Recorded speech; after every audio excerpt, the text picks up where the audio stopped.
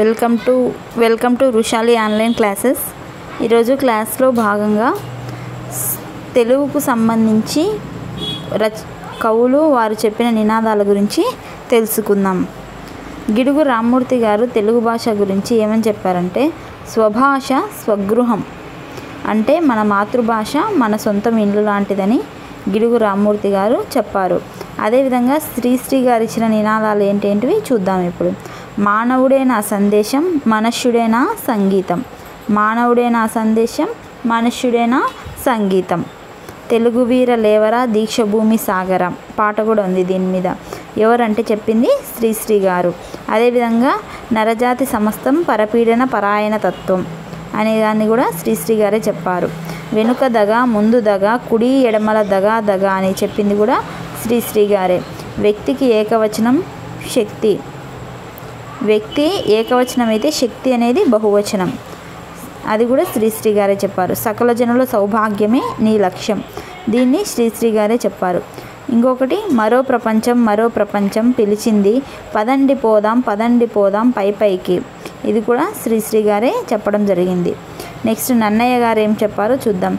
విశ్వాశ్రయ కావ్యం. విశ్వాశ్రయ కావ్యం. అదేవిధంగా గతకాలం వచ్చుకాలం కంటే మేలు.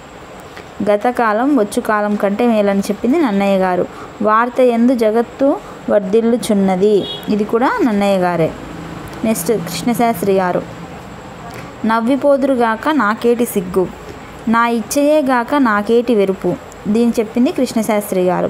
అపూర్వ మధుర శక్తి స్ఫురించుకొని అర్థమ్ము కాని భావ గీతమ్ములివి అపూర్వ మధుర శక్తి మధుర రక్తి అపూర్వ మధుర రక్తి స్ఫురించుకొని స్ఫురించును కానీ అర్థము కాని భావగీతములివి చెప్పింది కృష్ణశాస్త్రి గారు. నెక్స్ట్ పట్టాభి గారు. కళ కళ కొరికే చెప్పింది పట్టాభి గారు. భావకవిని నేను అహం కవిని నేను. భావకవిని నేను అహం కవిని నేను. ఫిడేలు రాగాల డజన్. ఫిడేలు రాగాల డజన్. నా వచన పద్యాలనే దుడ్డు కర్ నా వచన పద్యాలనే దుడ్డు కర్రలతో పద్యాలు నడుములు విరగదంతాను చెప్పింది పట్టాభి గారు. ఇవన్నీ తెలుగు మెథడ్లో అదేవిధంగా తెలుగు టెక్స్ట్ బుక్లో ఉంటాయి. ఇవన్నీ గ్యాదర్ చేసుకుని ఒక చోట రాసుకోవడం వల్ల మనకి ఏమవుతుందంటే మనకి రివిజన్కి చాలా బాగా ఉపయోగపడుతుంది. అదేవిధంగా ఏ కవి ఏది చెప్పారని కన్ఫ్యూజన్ లేకుండా ఒక చోట గ్యాదర్ చేసుకొని ఒకే పోలిగా ఉండేటి చదువుకోవడం ద్వారా ఎగ్జామ్లో కన్ఫ్యూజన్ కాకుండా చూసిన వెంటనే ఆన్సర్ చెప్పడానికి ఆస్కారం ఉంటుంది. నెక్స్ట్ సినారే గారు ఏం చెప్పారో చూద్దాం. అభ్యుదయ కవిత్వ వికాస దశలో గమనింపదగిన మజిలీ నయాగర కవిత్వ సంపుటి. అభ్యుదయ కవిత్వ వికాస దశలో గమనించదగిన మజిలీ నయాగార కవిత్వం అనేది సంపుటి. చెప్పింది సినారే గారు. వి విధి నిద్రపోతుంది కానీ విధి లిఖితం నిద్రపోదు. చెప్పింది సినారే గారు. కడలి అంచులు దాటి కదిలింది తెలుగు. చెప్పింది సినారే గారు. నెక్స్ట్ దాశరథి గారు.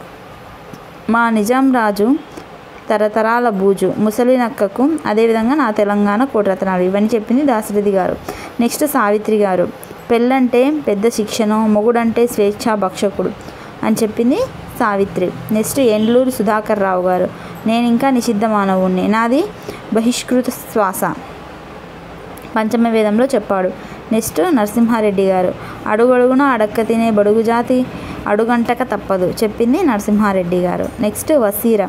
కాళ్ళు తడవకుండా సముద్రాన్ని దాటగల మేధావి అయిన వాళ్ళు లేరనేది వసీర గారు చెప్పారు. నెక్స్ట్ గోపి రొయ్య మడమల కింద భూ కలే కబే కలేబరాలే వల వేస్తే డాలర్లే పడ్డాయి. ఇవి తెలుగు మెథడ్లో ఉన్నాయి ఇవి.